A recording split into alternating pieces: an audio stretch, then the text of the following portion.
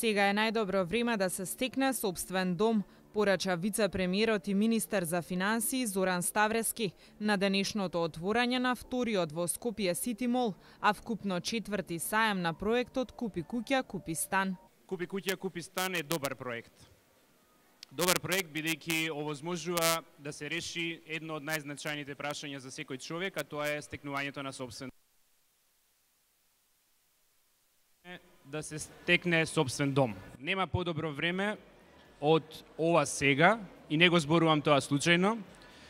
Каматните стапки се најниски историски, цените на становите се најниски историски, односно се прилично пониски од што беа, и имате можност да искористите субвенцијата од владата, која што помага да се надмине оној почетен период на плаќање на обврските по кредитите. Овие саеми според Ставрески се одлична можност секој добро да се информира, да ја донесе одлуката која е една од најзначајните во животот и да дојде до собствен дом.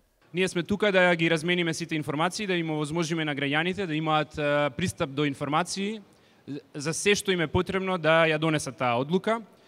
И затоа е добро што имаме активно учество на банките кои што веќе 4 години се со нас и сакам да се заблагодарам на сите банки учеснички во проектот Купи куќа, купи стан и на вредните колеги и колешки кои што ги овозможуваат овие работи и информира, ги информираат граѓаните.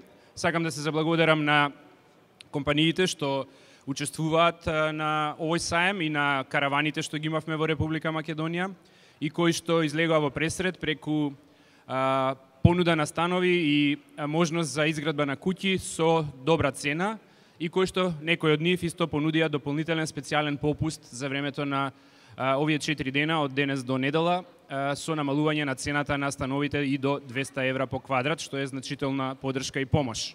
На саемот се присутни и представници од Министерството за финансии, кои се должни да ги информираат граѓаните како да искористат поддршката, која се движи и до 14.000 евра, во зависност од големината на кредитот. Од компанијата Hot и Hot велат дека минатогодишниот саем имал извонредна посетеност и бил успешен.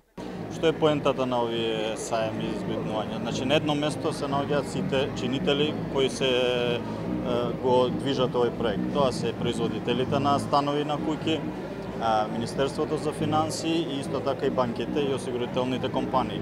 Граѓаните на едно место можат да ги добијат сите информации потребни што им се за овој проект. Така да овој тип на презентација на проекти, не само на овој, него и на други, е многу добар и го поддржуваме и во иднина сите ќе учествуваме уште помасовно во овие проекти. Од посочи дека поминато годишниот саем имало значително зголемување на интересот за проектот, очекува слично да биде и годинава.